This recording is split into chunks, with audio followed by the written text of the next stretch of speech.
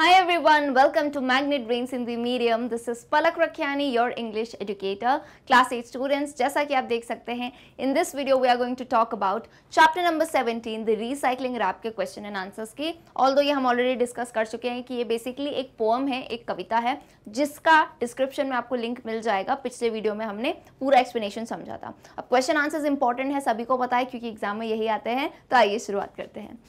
Question answers का पढ़ाने का पर्पज़ क्या है मैं बता देती हूँ कि मैम एक्सप्लेनेशन तो समझ लिया। अब क्या? अब होता क्या है एग्ज़ाम में क्वेश्चन आते हैं। बच्चा कहता है, मैम, पढ़ाई भी करी थी, लिख के भी आए हैं, पर मार्क्स क्यों कट जाते हैं? तो उसके कुछ रीजंस होते हैं। सबसे पहला रीज़न तो आप क्वेश्चन को सही से पढ़ते नहीं हो। दूसरा क्वेश्चन के मार्क्स नहीं देखते हो। कुछ स्टूडेंट्स मैंने देखे हैं, एक मार्क के क्वेश्चन पे नौ दस लाइनें लिख के आ रहे हैं। बेटा मार्क तो वो एक ही का ही है। तो वहाँ आपको ध्यान देना है। नेक्स्ट जो है grammatical mistakes that you have to avoid now again English का एग्ज़ाम है ग्रामर की मिस्टेक करोगे तो मार्क्स कटेगा। ठीक है? तो मैं तरीका बताऊँगी किस क्वेश्चन का कैसे आंसर देना है। तो अपनी किताबें जरा निकाल लीजिए radiance part three page number one seventy one what according to the poet is the only way to save this planet for future generation question number one कहता है, जो हमने कविता पढ़ी है, उसमें कवि के अकॉर्डिंग ऐसा कौन सा सिर्फ़ एक तरीका है जिससे हम जो है अपनी धरती को बचा सकते हैं हमारी आने वाली पीढ़ी के लिए। अब अकॉर्डिंग टू द पोम कुछ बच्चे क्या होते हैं? भावुक हो जाते हैं इंग्लिश में। कैसे? क्वेश्चन पढ़ा तो वो सोचेंगे, ऐसी कौन सी चीज़ है जिससे सिर्फ़ फ्यूचर जनरेशन बच सकती है? वो अपने मन से लिखाएँगे, नहीं। लिटरेचर में जो आपने चैप्टर पढ़ा है according to that you have to answer literature में आप नहीं करोगे, अपने मन से आंसर दे रहे हो, क्योंकि जो पोइट ने कहा है, कवि ने कहा है, उनकी बात हमें बतानी है। है ना? अब चाहे वो आपको अच्छी लगे या नहीं लगे, लेकिन बात वो कवि की है, वही आपको बतानी है। तो यहाँ पे क्या बताया पोइट ने? According to the poet the only way to save this planet for future generation is by recycling कि रिसाइकल करके यहाँ हमारे कवि ने कहा है कि हम अपनी जो है धरती को बचा सकते हैं। क्लियर है? तो ये रहेगा आपका सिंपल सा answer these type of question can come around like one mark के क्वेश्चन आपसे पूछे जा सकते हैं वन या टू मार्क में। क्लियर है? चलिए। Come to question number two where should the waste materials be stored waste materials को कहाँ स्टोर करके रखना चाहिए? So the waste materials can be stored in the save a can अब जो है आप वेस्ट मटेरियल्स के, अब यहाँ पे बहुत सारे ऑप्शन थे। Now this kind of depends कि आपका क्वेश्चन कितने मार्क्स का है। अब अगर मान लो एक मार्क का है तो तुम सेव ए कैन बता सकते हो, या फिर तुम और चीज़ें बता सकते हो कि उनको बॉटल बैंक्स में रख सकते हो। है ना? या तो आप फैक्ट्री में दे सकते हो। या फिर जो आप उनको घर में स्टोर करके रख सकते हो, फिर आप रिसाइकलिंग पे दे सकते हो। So now it depends upon the marks of the question ठीक है, यहाँ पे हमको लगा एक मार्क के क्वेश्चन हम कवर कर रहे हैं बेसिकली तो हमने एक ही आंसर लिखा है सेव अ कैन ओके चलिए। Question number three what should one do with the bottles before putting in the waste box जो आपके पास बॉटल्स होती हैं, उनको कचरे के डब्बे में डालने से पहले इंसान को क्या करना चाहिए? The bottles can be taken to the bottle bank वही जो हमने बात की बॉटल बैंक में लेके जा सकते हैं. And then to the factory for recycling तो जो हमारे घर में ग्लास की बॉटल्स रहती हैं या फिर जो भी प्लास्टिक की बॉटल्स भी रहती हैं, उन्हें हम बॉटल बैंक में लेके जा सकते हैं. एंड देन वहाँ से वो लोग फैक्ट्री में ले जाएँगे for recycling I hope this is clear चलिए. Come to question number four where should be put glass bottle and jam jars glass की बॉटल यानी कांच की बनी हुई बॉटल्स और जैम जार्स को कहाँ रखना चाहिए? So we should put glass bottle and jam jars to the bottle bank then at the factory तो कुछ नहीं है आंसर सेम है क्वेश्चन पूछने का देखो, आपके एग्ज़ाम में भी क्वेश्चन का कान इधर से खींचे, इधर से खींचे, तुम्हें समझना है। ऐसा नहीं है कि बुक में क्वेश्चन दिया तो एग्जैक्ट छप के आ जाएँगे। They can change the language questioners बच्चों को यही ट्रिक करते हैं कि लैंग्वेज हल्की सी चेंज कर दी तो आपको वहाँ पे घबराना नहीं है। ठीक है? चलिए क्वेश्चन नंबर फाइव पे आ जाइए। Which household items according to the poet can be recycled अच्छा क्वेश्चन है ये। पोएट के हिसाब से ऐसे कौन से डोमेस्टिक यानी घरेलू आइटम्स हैं, जिनको आप रिसाइकल बहुत ही अच्छा रिसाइकलिंग में नहीं, तुमको घर में मशीन लगानी है। आप आसपास तरीकों से आसपास जाके पता कर सकते हैं कि भाई तुम कबाड़ी वाले जैसे होते हैं तो वो दे देंगे रिसाइकलिंग के। तो ऐसे कौन से आइटम्स है जो आप कर सकते हैं recycle so according to the poet old newspapers old glass bottles jam jars cold drink cans etcetera can be recycled अब हमारे पास बहुत सारी लिस्ट है, लेकिन पोएट कवि के अकॉर्डिंग कविता में इतनी ही चीज़ें दी थी तो हमने वही मेंशन की है। क्लियर है? चलिए। Now come to page number 172 यहाँ आपको देखेगा, आपको आंसर करने हैं क्वेश्चन इन अबाउट 30 वर्ड्स में।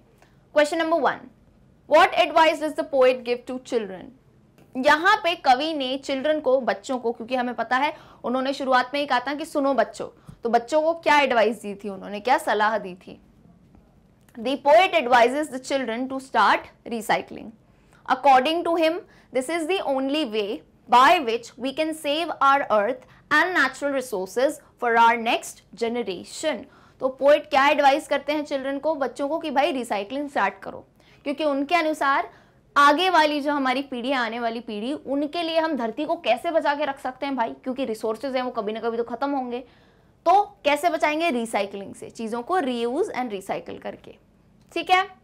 क्लियर आंसर चलिए, मैं इतना टाइम देती हूँ so that you guys can take screenshot question number two What method does the poet suggest to dispose of the empty drink cans? List the steps. This is a good question. Poet ने खाली जो हम cold drink की cans होती है ना, उनको हम कैसे रिसाइकल कर सकते हैं? पोइट ने कुछ स्टेप्स बताई थी तो वो हम लिख सकते हैं यहाँ. The poet suggest disposing the empty cans he suggest to use it क्या करा कि उसको आपने यूज़ कर लिया? मतलब पीली बढ़िया कोल्ड ड्रिंक तो उसको धो लो, क्योंकि अंदर कोल्ड ड्रिंक के थोड़े रेसिड्यू बच जाते हैं ना तो आप उसको धो दीजिए। उसके बाद स्क्वैश कीजिए। स्क्वैश का मतलब क्या होता है? ऐसे आपके पास कभी कोल्ड ड्रिंक कैन ली होगी ना, उसको ऐसे करोगे ना तो वो दब जाएगी, पूरी निचोड़ दो उसको, है ना? It by making flat and thin तो वो एकदम पतली फ्लैट और थिन हो जाएगी। और उसके बाद का स्टेप आपको बताना है तो आप बता सकते हो कि जैसे जो हमारे कवि है, उनकी कंट्री में होता है, सेव अ कैन करके एक मशीन रहती है, वहाँ पे आप उसे डाल सकते हैं। क्लियर है? चलिए। नेक्स्ट इज़ आपको वहीं पे दिखेगा आंसर इन 60 वर्ड यानी वर्ड्स बढ़ते जा रहे हैं, आप समझ रहे हो मार्क्स बढ़ते जा रहे हैं। कि ज़्यादा मार्क का क्वेश्चन है तो हमें उस हिसाब से आंसर करना है। ठीक है? Question number one list all the don'ts that the poet has suggested to save for the future generation don'ts का मतलब क्या होता है? ना करने वाली चीज़ें। क्या क्या पोइट ने कहा है जो हमको नहीं करना है हमारी फ्यूचर जनरेशन के लिए, है ना? जो हमारे प्लैनेट को बचाने के लिए। So the following is list जो हमें दी है. Number one don't throw away the old news पुरानी अखबारों को फेंक नहीं दीजिए कचरे में. दूसरा don't throw away the empty drinks can खाली कोल्ड ड्रिंक की जो कैन होती है, उन्हें भी ऐसे कचरे के डब्बे में नहीं फेंक दीजिए. Third no more pussyfooting no more pussyfooting का मतलब डरना, घबराना कि लोगों के ओपिनियन लोग क्या कहेंगे, है ना? तो काम नहीं करना अपने हिसाब से, है ना? तो आपको जो है ये नहीं करना है, आपको आगे बढ़ना है। And no more claptrap यानी एक जगह बंधे रहना कि कौन करे। होता है ना, एक आलस सा आता है कि भाई कौन आगे बढ़े, क्यों मैं सबसे पहले आगे बढ़ू? तो ये सब नहीं करना है। आपको खुद ही अपना स्टेप उठाना है। ठीक है? तो कुछ कुछ डोंट्स हैं, आप चाहे तो और भी इसमें मेंशन कर सकते हैं। Question number two What word in the last stanza sums up the advice of the poet to the children for saving the future generation? तो आखिरी स्टैंडा में ऐसा कौन सा वर्ड था जो यू नो बच्चों को एक और अच्छी एडवाइस दे देता है? सो so, यहाँ पे हमने कुछ नहीं किया है हमने लास्ट की लाइन्स ही लिख दी है। पोम की हमने लाइन्स उठा के अब इसके लिए बेहतर रहेगा आप पोम को जब मेरा वीडियो है एक्सप्लेनेशन का दो तीन बार देखो या if even if you read the poem two two three times तो आपको क्या हो जाएगा ना वो लाइन्स याद हो जाएँगी। तो हमने डायरेक्ट लाइन्स लिख दी हैं।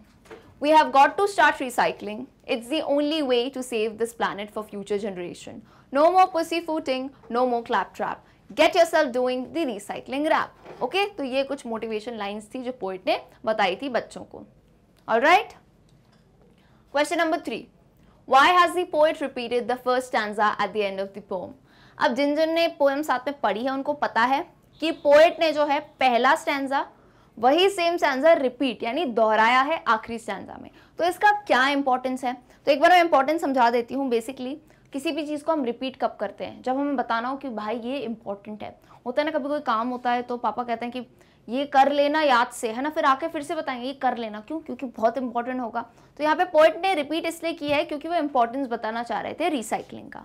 Okay so the poet has repeated the first stanza at the end of the poem to put emphasis on the importance of his message वो क्या करना चाहते थे?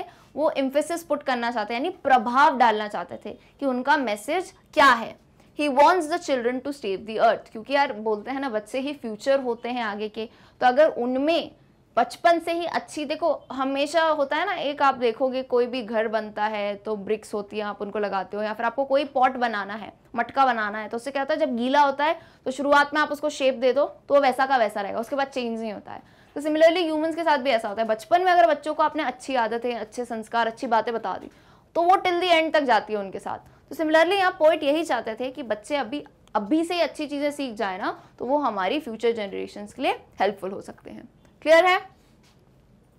क्वेश्चन नंबर फोर पे आइए. Which line or words are repeated several times in the poem? What is the significance of this repetition? तो आपको बताना है कौन सी लाइन कौन सा वाक्य है कौन से शब्द हैं जो रिपीट हुए हैं और उनका क्या सिग्निफिकेंस है, यानी क्या इंपॉर्टेंस है? The words repeated several times in the poem are we have got to start recycling तो जब आप पोम पढ़ोगे ना आपको दिखेगा, ये वाला वाक्य बहुत बार रिपीट हुआ है। So these words have been repeated to give importance on recycling ये क्यों रिपीट हुए हैं? क्योंकि पोएट जो है, इन पे इंपॉर्टेंस यानी स्ट्रेस ले करना चाहता था कि भाई ये बात सबसे इंपॉर्टेंट है। क्लियर है? So the students with this we end this session for question and answers hopefully आपको तरीका समझ आया होगा कि आंसर कैसे देने हैं। तो अगर वीडियो पसंद आता है वीडियो को लाइक एंड शेयर ज़रूर करें अपने फ्रेंड्स के साथ। एक बार फिर से बता दूँ मैग्नेट ब्रेन्स हिंदी मीडियम आपको देता है बिल्कुल ही फ्री एंड क्वालिटी एजुकेशन यहाँ पे आप सभी टाइप के कोर्सेज देख सकते हैं। आप हमारी वेबसाइट पर जाके भी पढ़ सकते हैं। And last thing I know आप सब सोशल मीडिया पर होंगे सो so आप हमें हमारे इंस्टाग्राम हैंडल पर ज़रूर फॉलो करें for more updates see you all in the next video जिसमें हम इसी पर्टिकुलर चैप्टर की एक्सरसाइजेस को कवर करेंगे. Till then goodbye